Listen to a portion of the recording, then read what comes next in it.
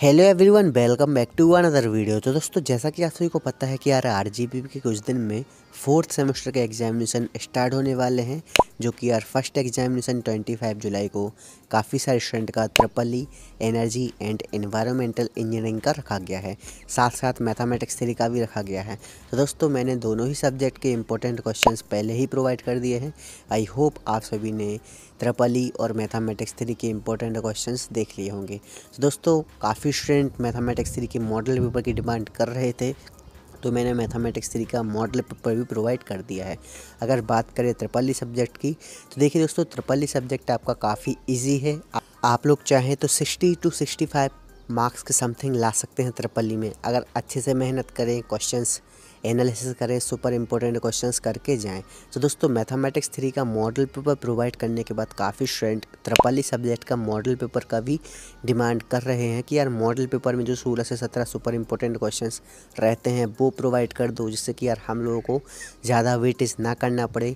क्योंकि यार सिलेबस कहीं ना कहीं काफ़ी बड़ा है और आरजीपी भी इतने सारे सिलेबस में कौन से सडनली सोलह से सत्रह क्वेश्चन चूज़ कर ले उसका किसी को नहीं पता। लेकिन दोस्तों, अगर आप लोग अच्छे से कैलकुलेशन करेंगे एनालिसिस करेंगे प्रीवियस ईयर क्वेश्चन पेपर का गैप वाले क्वेश्चन का साथ साथ बैकलॉग पेपर का, जो कि दोस्तों आपको अरेंज करना होगा पहले, फिर एनालिसिस करना होगा, उसके बाद पंद्रह से सोलह क्वेश्चंस निकालने पड़ेंगे। तब जाके आप लोग बोल सकते हैं कि हाँ वो सुपर इम्पोर्टेंट हैं। और दोस्तों, मैं प्रीवियस में काफ़ी बार मैथमेटिक्स थ्री का और ट्रिपल सब्जेक्ट का एनालिसिस कर चुका हूँ और मॉडल पेपर बना चुका हूँ, जो कि दोस्तों, आपके सीनियर्स को और आपको काफ़ी ज़्यादा हेल्प किया है। इसी के साथ दोस्तों, आपको बता दें कि यार ट्रिपल के बाद बचे जो चार सब्जेक्ट हैं, उसमें से यार एक या फिर दो सब्जेक्ट ऐसे होंगे। जो कि यार थोड़े टफ़ होंगे, आपको टफ़ लग रहे होंगे और ये भी लग रहा होगा कि आपको बैक लोग ना आ जाए।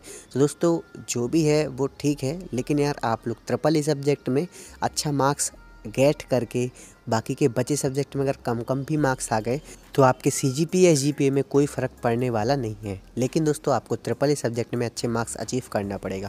तो दोस्तों, अगर आपको ट्रिपल ई सब्जेक्ट में डर लग रहा है या फिर ऐसा लग रहा है कि सिलेबस ज़्यादा है, आप लोग पूरा सिलेबस नहीं कंप्लीट कर पा रहे हैं तो मैं आपको सजेस्ट करूँगा कि यार आप लोग सुपर इंपॉर्टेंट सोलह से सत्रह क्वेश्चन तैयार कर लीजिए, जो कि यार मॉडल पेपर में इंक्लूड है। तो दोस्तों, अगर आप लोग मॉडल पेपर के लिए इंटरेस्टेड है तो कमेंट करके ज़रूर बताइएगा। ट्रिपल ई मॉडल पेपर बाकी दोस्तों इंपॉर्टेंट क्वेश्चंस मैं पहले ही प्रोवाइड कर दिया हूँ। तो दोस्तों best of luck for your examination thank you very much for watching take care love you all